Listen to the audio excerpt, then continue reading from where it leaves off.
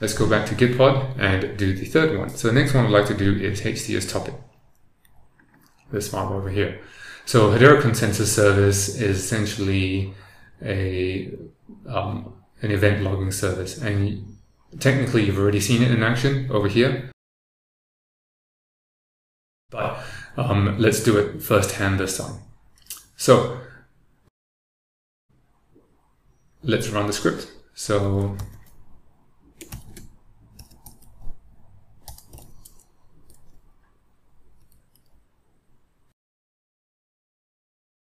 dot slash script. So cd hcs topic and then dot slash script hcs js and let it do its thing.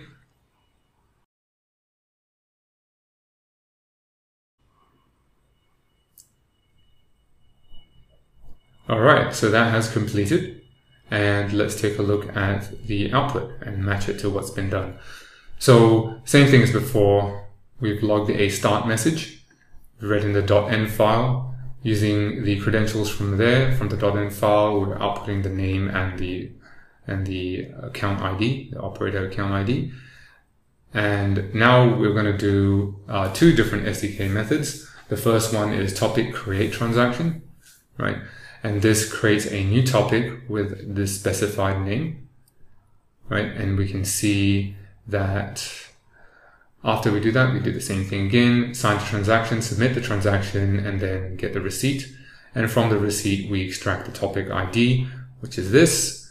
And then the next thing is we publish that message onto the HCS topic, a new message.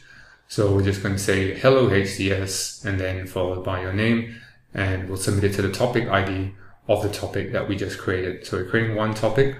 We've already created one topic at this point and then um, submitting a message to it. Right? And then we get the message, uh, topic message sequence number. And that's one because it's the first one that's been submitted.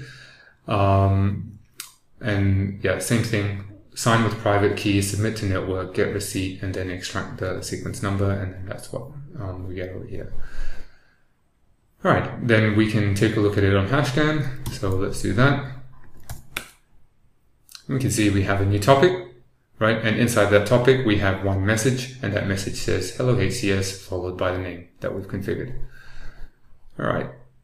And then, um, as before, we'll query mirror node um, which is a standard HTTP request, which is, yeah, making a request to this mirror node API and then parsing the JSON of all of the messages inside of it and then outputting it as sequence number followed by the message text. And so we just have one over here. And then that's complete. So again, um, summary of the metrics, we've got uh, three task completions this time. And the third task that we completed is HCS topic. And that took us 9.7 seconds to do.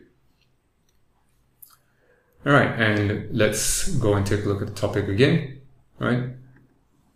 So we can see we've got HCS topic, um, a start and a complete. All right, back to Gitpod.